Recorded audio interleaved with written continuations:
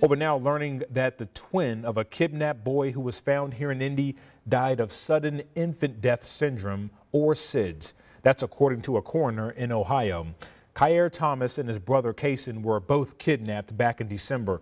Kyair was found at the Dayton airport while Kason was found here in Indianapolis. Kyair died in January, a month after being returned to his family.